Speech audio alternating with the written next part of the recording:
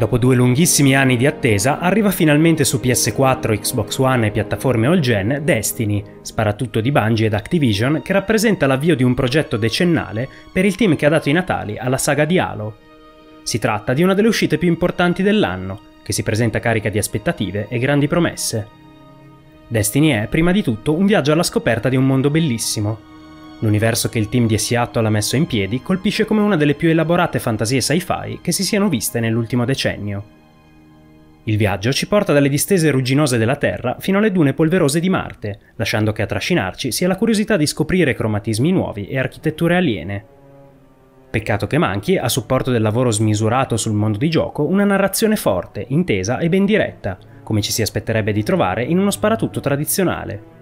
I pochi dialoghi che punteggiano la progressione sono mal scritti e frettolosi, gli eventi corrono troppo rapidamente e sempre con il fiato corto. Ma del resto l'obiettivo di Bungie non è quello di raccontarvi qualcosa.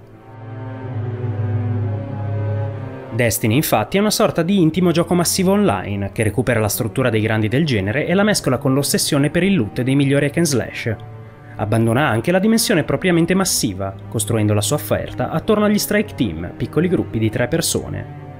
Per apprezzare il titolo Bungie comunque bisogna sentire un certo trasporto verso un'impalcatura ruolistica fortemente orientata alla meticolosa ripetizione degli stessi compiti e delle stesse missioni, portata avanti con fede incrollabile alla ricerca di armi e armature esotiche, tesori rari e ricompense di fine quest. C'è da dire che la strada che porta al completamento delle missioni è comunque lunga e tortuosa, e vi terrà impegnati per molte ore, e anche che il multiplayer competitivo ha molto da dire ai patiti del frag online perché non dimentichiamoci che alla base di Destiny c'è di fatto un gameplay che porta la firma di Bungie.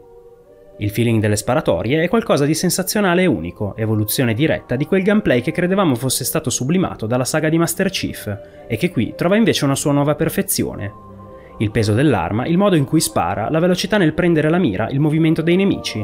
Tutto è al posto giusto, mentre un brivido di puro godimento videoludico vi attraverserà ad ogni headshot andato a segno, ed il doppio salto aggiunge una nuova spazialità agli scontri. Da questo punto di vista Destiny è meraviglioso per come riporta l'attenzione sulla mobilità ad ogni costo e per la sua capacità di costruire scontri tesissimi. Districandosi fra PvP e PvE, l'endgame si raggiunge in 20 ore abbondanti, portando il proprio personaggio al livello 20. In verità si può continuare, sia perché ognuna delle tre classi disponibili sblocca di fatto una specializzazione, che cambia in maniera radicale l'approccio al gioco, sia perché sugli oggetti rari compare un nuovo parametro, luce, che di fatto può alzare il nostro livello fino al 30. In ogni caso sarete comunque impegnati a rifare più e più volte le stesse missioni, o magari gli assalti infilati in apposite playlist che vi permettono di giocarli in sequenza. Questa ripetizione quasi ossessiva è considerata da molti peccato mortale di Destiny, ma rappresenta a conti fatti la coda di un'esperienza che cresce molto bene nelle prime ore di gioco e raggiunge solo alla fine questo apparente immobilismo. In verità, i problemi dell'endgame sembrano riguardare soprattutto un drop rate davvero basso, che non riesce a dare ai guardiani le soddisfazioni che meriterebbero dopo un impegno tanto duro. Per fortuna, superando i problemi di bilanciamento, quando vi sentirete stanchi delle missioni assalto, potrete lanciarvi nel crogiolo. Anche qui, a fare la differenza sono i ritmi di gioco distanti da quelli compulsivi di un Call of Duty. Gli scontri a fuoco sono più tattici, ancora capaci di mettere in mostra le abilità del giocatore. Il comparto multigiocatore di Destiny resta un sogno per chi si sente orfano della trilogia originale di Halo, ma più in generale una proposta solida, in grado di funzionare perfettamente come contenuto in-game per chi raggiunge il level cap.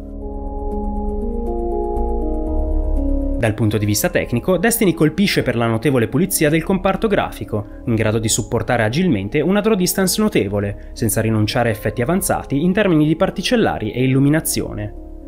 Il filtro anti-aliasing pulisce a dovere i contorni, limando molto le scalettature anche se non eliminandole del tutto. Le texture presentano nel complesso una qualità sopra la media. Resta su tutte l'enorme difetto di un ambiente statico, quasi distante dall'azione. La totale assenza di pur minime reazioni fisiche lascia leggermente turbati, all'alba della nuova generazione. Da ottimizzare anche i tempi di caricamento, davvero troppo estesi. Ottime note anche per il comparto sonoro, con le eccezionali musiche originali composte da Martin O'Donnell, che si accompagnano a effetti credibili e pieni per armi e veicoli. Destiny è un titolo difficile da catalogare, è uno sparatutto eccezionale confinato in una struttura ruolistica che incrocia Diablo 3 a World of Warcraft, condita da una spruzzata del multiplayer made in Bungie. Manca una narrazione convincente per acchiappare i più tradizionalisti e la struttura ha una sua ripetitività di fondo ma in sottofondo c'è un gameplay esemplare, tecnico e travolgente, che riesce a mitigare i difetti di gioventù e ci trascina all'interno di questo mondo ottimamente caratterizzato. È importante sottolineare una volta di più quanto la proposta di Bungie sia distante da quella di uno sparatutto classico. Si tratta di un MMO costruito attorno agli Strike Team, da giocarsi rigorosamente con amici, accettando le regole, i ritmi e l'iterattività degli RPG online. È questo l'elemento distintivo di Destiny, la ragione della sua ammagliante unicità. E questo è il motivo per cui, per tanti giocatori, oggi non c'è posto migliore dove stare.